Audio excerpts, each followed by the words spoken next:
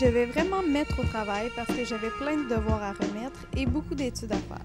Mais avant, je devais vraiment ranger mon bureau bordélique afin de créer une ambiance agréable pour travailler. J'ai voulu me faire une